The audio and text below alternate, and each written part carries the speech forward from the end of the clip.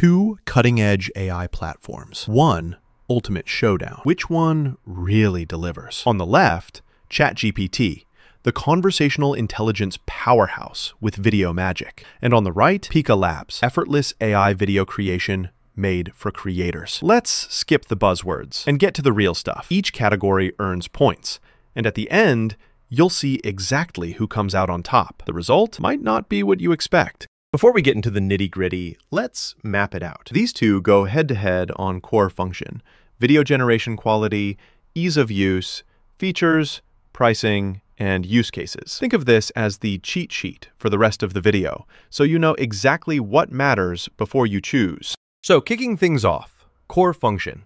Let's talk ChatGPT first. Obviously, this thing is a world-class conversational assistant. And Sora? That's OpenAI's video engine that lets you generate really, really impressive clips just by typing out a prompt. For text, chat, images, it's all smooth.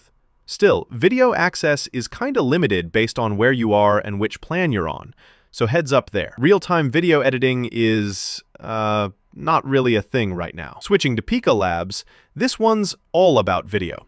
Seriously, you just drop in your text. It spits out video fast.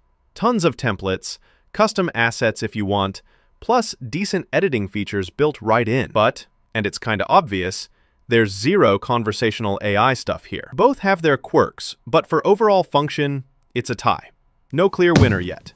Now, let's talk about video generation quality, because this is the stuff you're actually going to share. Sora on ChatGPT does up to 20 seconds, and some clips look almost cinematic, like some real Hollywood vibes if you nail your prompt. Sometimes, though, it's a bit hit or miss, and multi-clip editing still a work in progress. Plus, not everyone gets access, which, let's be real, is kind of a bummer. Pika Labs punches back with 1080p HD, yep, the new version, solid motion and character consistency, and advanced controls like Pikaffects and Pikadditions. These actually let you tweak scenes, kind of like a pro editor. The clips are shorter, think 7 to 15 seconds, and sometimes the output looks more animated than real. But for everyday creators, the consistency is a win. Winner here, Pika Labs takes it. Let's talk ease of use, because nobody wants to spend hours learning some clunky interface, right? ChatGPT is basically the gold standard for chatting, generating images, and basic prompts.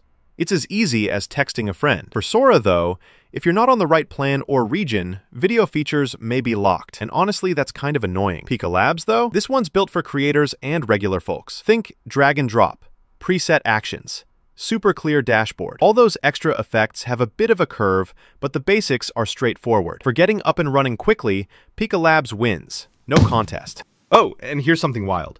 Did you know that Pika Labs' latest model lets you literally morph video scenes and drop in custom objects up to 1080p HD just by describing what you want? That's some next level video magic happening right now.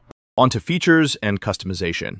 Okay, ChatGPT gives you prompt-based creation, even integrates audio and music sometimes through stuff like Veo. But if you want to manage assets, stock photos, clips, that's all outside the platform. Actual video editing, pretty minimal.